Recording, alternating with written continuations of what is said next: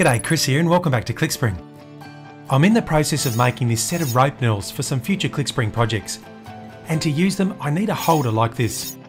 It's a basic bump style knurling tool that can be mounted onto the lathe tool post and then pushed into the work to form the pattern.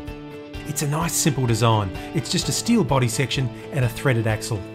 The main body section doesn't really need to be hardened, but I'd like it to last well, so I'm going to make it from O1 tool steel.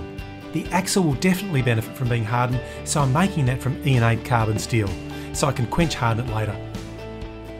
So let's get started. I loaded the rod stock into the lathe and then turned the basic profile of the axle.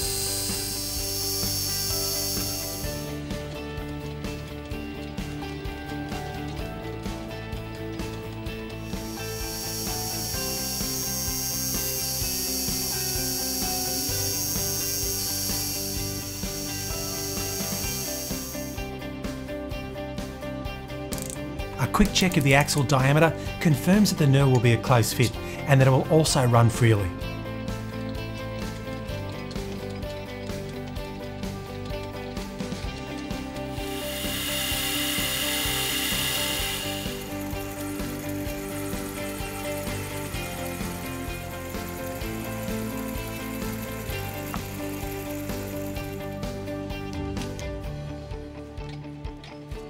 This thread is quite short and I've designed it to end flush with the outside of the tool body. I'd like to be able to get the knurling tool in as close as possible to the chuck when it's in use to minimise any flex in the part that's being knurled.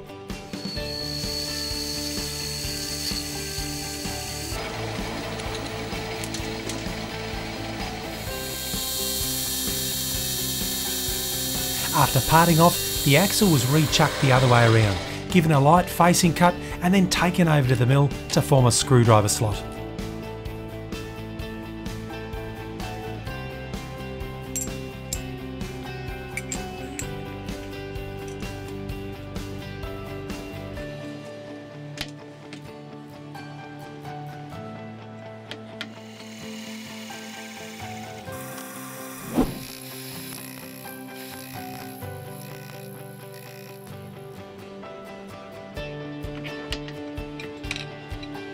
And at this point all of the main features of the axle are in place.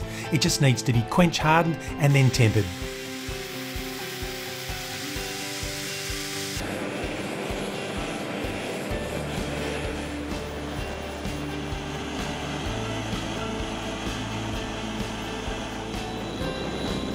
I've tempered it to a medium straw colour, which means that it remains quite hard, but it's also quite tough too, so it should last well when it's in service. A quick touch with some emery paper to pretty it up a little and it's done. So now it's onto the main body of the tool, and for the most part these features are best formed on the mill. So the first step was to get it set up and located in the vise.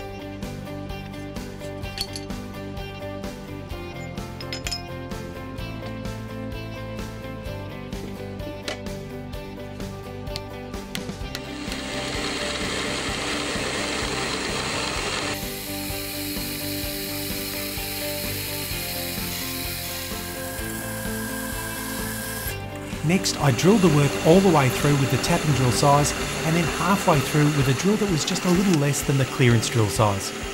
That way I can follow that part of the hole with a reamer and make sure that the axle will be a close fit in the tool body.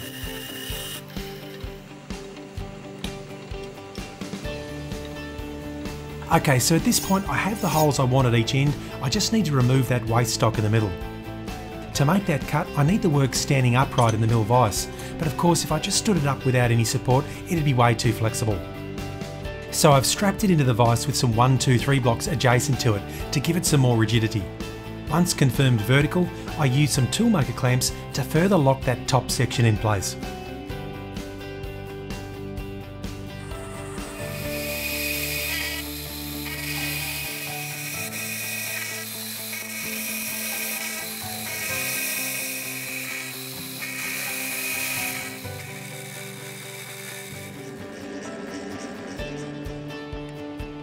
One side was tapped to accept the thread of the axle and at this point most of the hard work has been done.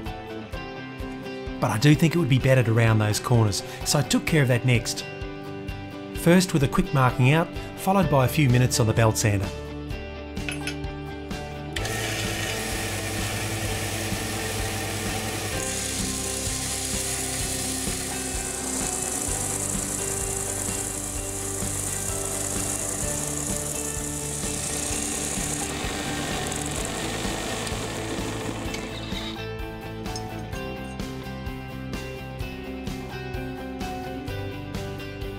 So here's the end result.